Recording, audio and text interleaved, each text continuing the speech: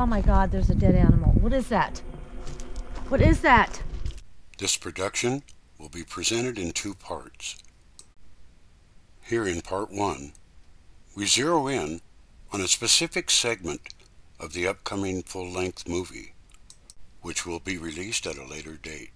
I do not see where we could have missed this plastic and this disturbing scene when we walked the trail this morning on our way to the lake.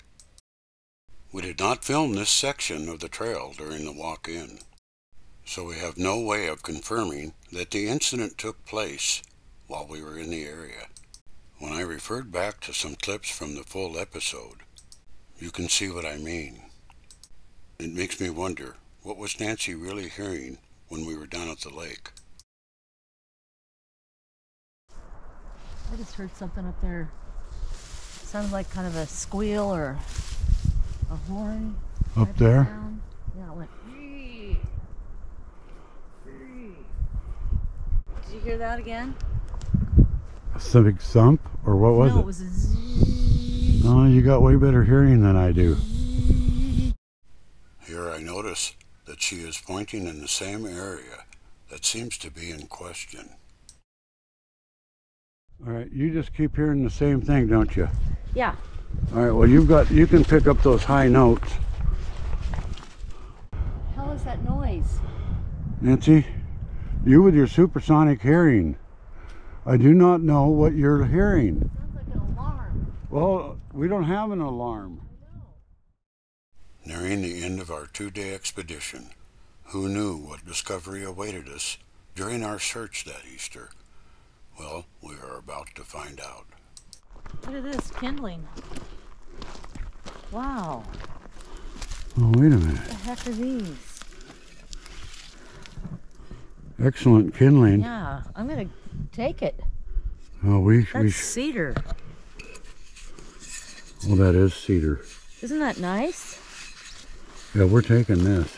Absolutely, man. Man, that's nice. Why are the ends burn off like that? Why would they do that? I don't know.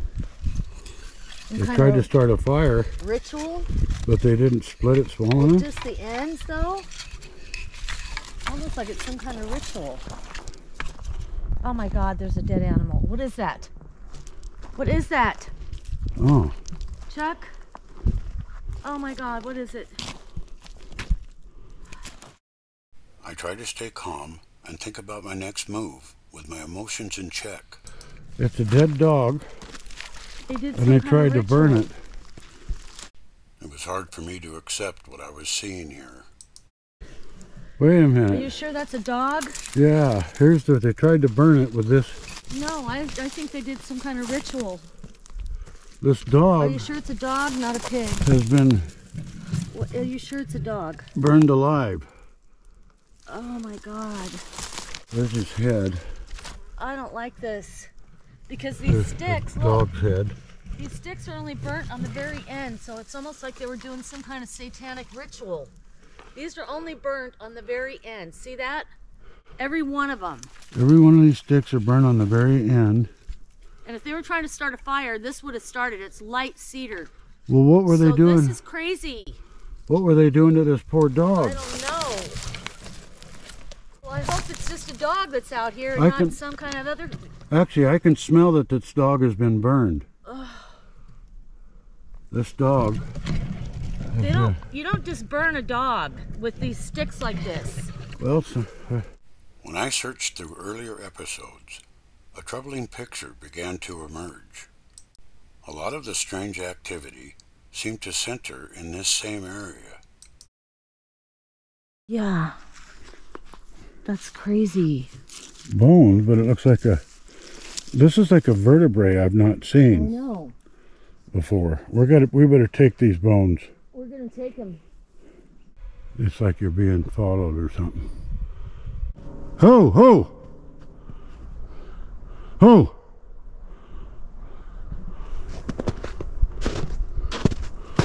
I don't know. We're almost back. We gotta. We're getting closer. The activity always seems to be near the tree crossing and close to the trailhead near the end of our journey. Some of our discoveries seem suspicious in a whole new light now. Started several fires in the area.